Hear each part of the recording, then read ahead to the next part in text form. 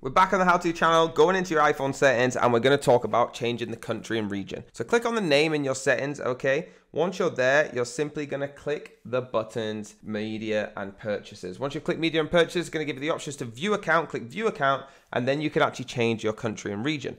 Guys, the only thing you need to know is if you've got an active subscription somewhere else, it won't come up with this setting, okay? If you don't have active subscriptions, then it's easy, just change country or region, guys. Please do me a massive favor, make sure your payment settings are set up to the right country, and this will work perfectly fine. Like and follow for more how-to videos.